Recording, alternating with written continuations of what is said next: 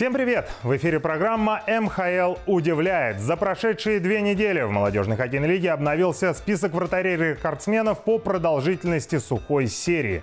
Илья Канарский не пропускал более 244 минут. Причем его сухая серия началась в Академии Михайлова юниор, а заканчивалась уже в основной команде Академии Михайлова.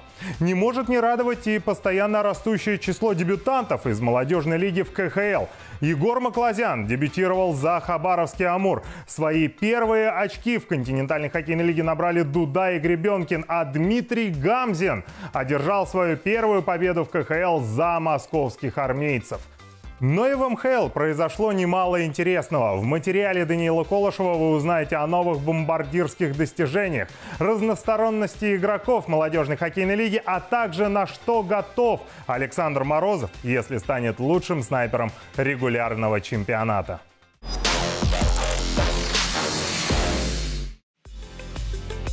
Нападающий «Спартака» Егор Чизганов приехал в гости к своей бывшей команде «Алмазу». И, похоже, на эти игры «Спартаковец» был заряжен по-особенному. За два матча Чизганов забил три и сделал передачу. А главное, каждую свою шайбу он довольно вызывающе праздновал. Для начала расскажи вообще, что это было в Череповце. Да, в принципе, просто приятно вернуться в Череповец, как бы я там провел два года.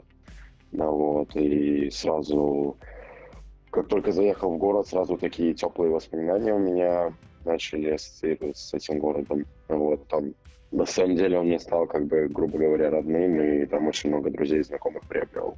И даже вот э, перед второй игрой встретился с ребятами с первой команды, поэтому только теплые воспоминания, поэтому Поэтому как бы так просто был настрой против именно Алмаза сыграть, как бы забить. Вот. Поэтому это исключительно только, наверное, на Алмаз был у меня такой настрой. Да, там кому-то не понравились мои жесты, как бы, но там это было в больше такой шуточной форме, поэтому там и ребята с Алмаза поддерживали это, там, также начали делать, вот как и я, поэтому думаю, это какие-то эмоции, поэтому если там болельщики там немного не поняли, то я уважаю череповец, я рад туда в любой момент вернуться и играть там, потому что это для меня стало как бы как, как будто второй дом, поэтому никакой капли неуважения не хотел кому-то проявить.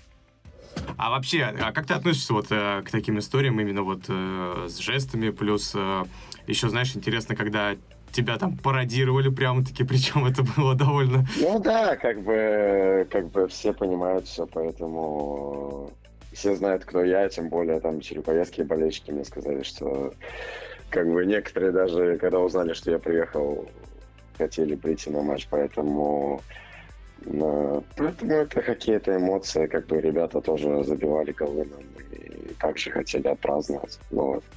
Не знаю, кому они привет передавали, вот, но как бы получилось реально весело, круто, как бы два дня, два, два, два дня приветов таких, вот. Как бы так немного взорвали медиа-день Череповца. В этом сезоне КХЛ запустила уроки в школе. МХЛовцы, братья Иван и Егор Климовичи, тоже поучаствовали. Парни стали учителями в 111-й школе Новосибирска. Вместе со Снеговиком и группой поддержки создали атмосферу матча, рассказали о правилах и терминах. Теперь у учащихся 111-й школы есть кого персонально поддерживать в снайперах. Глядишь, с такой поддержкой Климовичи на двоих забросят 111 шайб.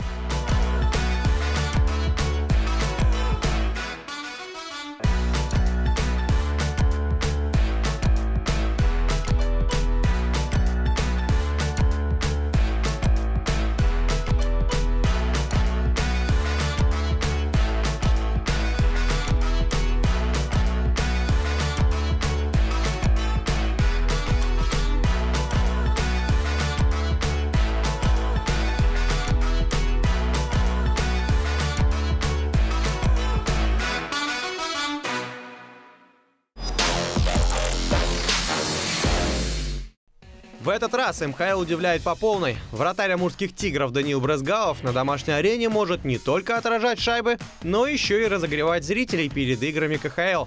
Ведь Даня неплохо играет на пианино.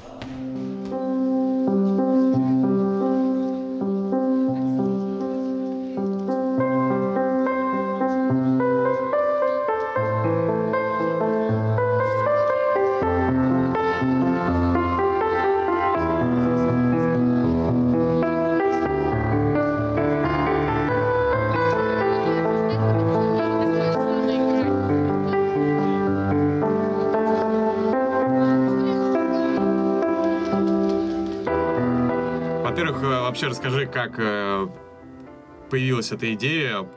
У нас гулял по Хапаровску, там есть набережная, и на набережной видел пианино. Просто решил сыграть, так на видео записали. Пресс-таше Артему Колесникову скинули, «Морских тигров». Он так уже заслал там всем, кто в клубе, там Алисия. И мне как-то они все попросили, решили сделать такое шоу.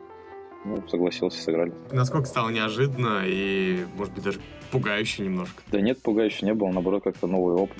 Плюс как-то есть такой стереотип, что хоккеисты, они более такие не любят культуру, еще что-то, но немножко поменяли. Поэтому пугающе не было, как-то просто вышел, сыграл. Перед выступлением не переживал. В общем, я переживал только за Егора Маклазяна, он как раз в этот день дебютировал, мой друг. За него переживал, а так за пианино нет. Знал, что все хорошо будет. Твое музыкальное, музыкальное мастерство, оно ограничивается только пианино, или ты еще на чем-то умеешь играть? Я вот как только в Хабаровск приехал, записался на курсы по гитаре. Так, немного на гитаре научился играть. Там сенсару выучили чуть-чуть. А так только вот, наверное, пианино, гитара. В принципе, сейчас хочу барабан немножко освоить, попробовать. Ну, это так, музыку люблю, интересно это все. Сколько ты вообще уже занимаешься пианино, да, игрой? И когда это все началось? Нет, я не занимаюсь. Я эту песню выучил по интернету просто. Все это давно уже было, лет пять, наверное, назад. И просто помню ее до сих пор. И, да. То есть вот как это вообще случилось, что ты начал играть на пианино? Ну, как-то в детстве занимался по скайпу с учителем. Там учительница звонили репетитору, по скайпу с ней занимались. И там разучили. Тогда я знал, ну, песен 5, наверное. А потом как-то все это сошло на нет. То есть больше не занимался. И так иногда ролики в Ютубе открывал. по ним песни учил. И вот в памяти вот это осталось. Сейчас ее так могу прийти сыграть.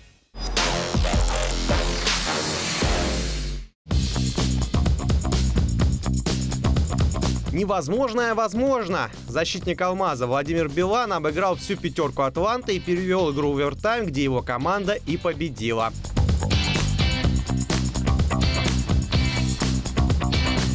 Никита Градобитов из Карелия оправдывает свою фамилию. Сначала забил в окружении трех соперников, а потом так отпраздновал, что даже стекло не выдержало.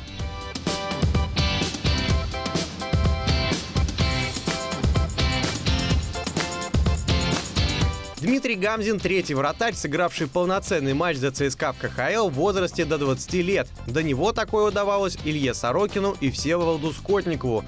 Причем все трое красноармейцев в таких играх победили с одинаковым счетом – 5-1. Нападающий русских «Витязей» Никита Алмазов сделал заявку на лучший гол октября. Красиво убрал соперника и положил с неудобной в девятку.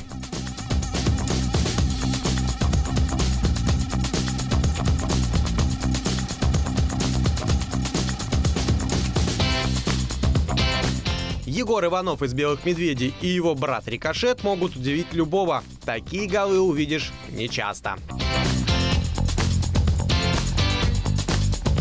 Вратарь — это полкоманды, а иногда даже больше.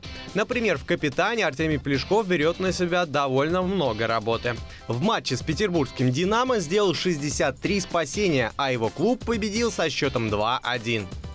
За 117 матчей в МХЛ Артемий сделал 3539 сейвов и по этому показателю находится в двадцатке лучших.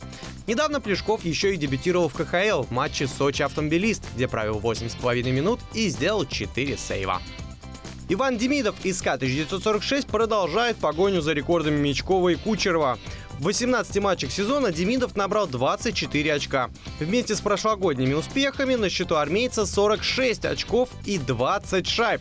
Он входит в тройку лучших снайперов и бомбардиров в истории лиги до 17 лет.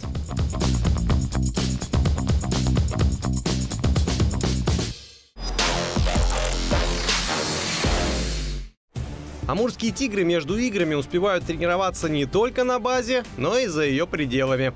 Например, поработали с профессиональными бойцами.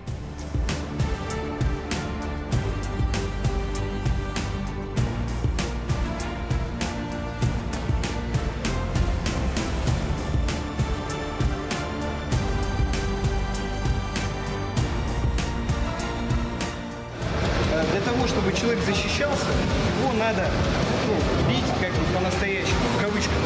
Да, то есть хотя бы я должен вот, вот его раз, видишь, если бы он не ушел, я бы коснулся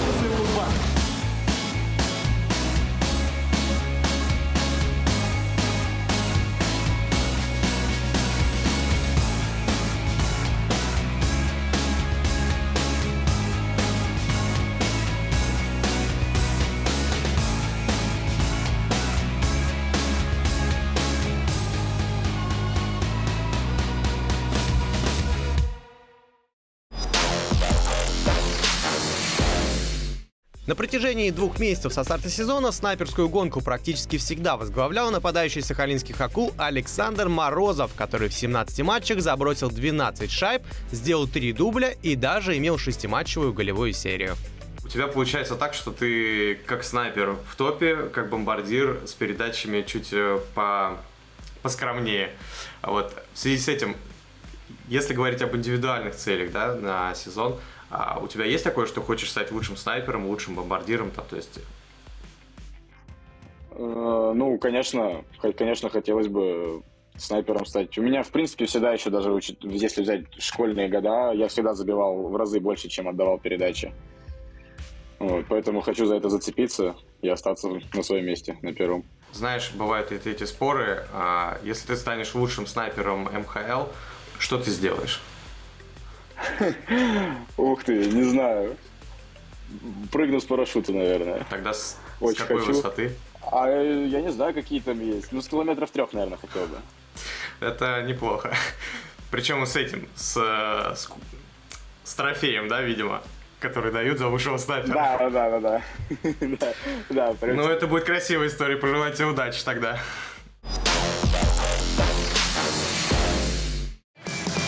В МХЛ за игроками можно подслушивать даже во время матчей, а теперь еще и за главными тренерами. Слушаем Анатолия Степанова.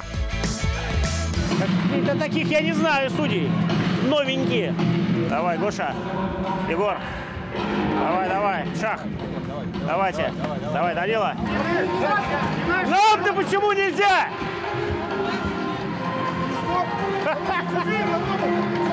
Это вообще Comedy Club отдыхает. Можно уже меняться? Данила, пошире уйди, пошире уйди. Будет момент для броска. Едешь в игрока. Зачем? У тебя два бегут еще туда. Пошире ушел. И уже смотри, есть возможность бросай. Нет, отдашь передачу или прострелишь. Ребят, вообще ужас какой-то. Концентрация-то будет. Что мы все в прокатик-то играем? Вон он, Гош. Здесь надо с мясом там выводить. Два шага еще и через не могу и вывести. Я ну пошли. Пошли, пошли, синий. Иди сюда! Кабанов! Я тебе ска- сказал я кому!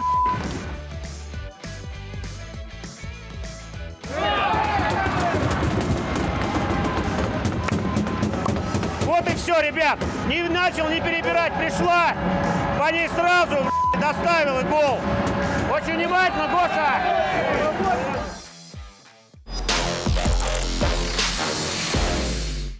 На этом на сегодня все. МХЛ продолжается. Смотрите игры, болейте за любимые команды, а обо всем интересном мы расскажем вам в программе МХЛ удивляет. До встречи на хоккее, дорогие друзья. Всем пока.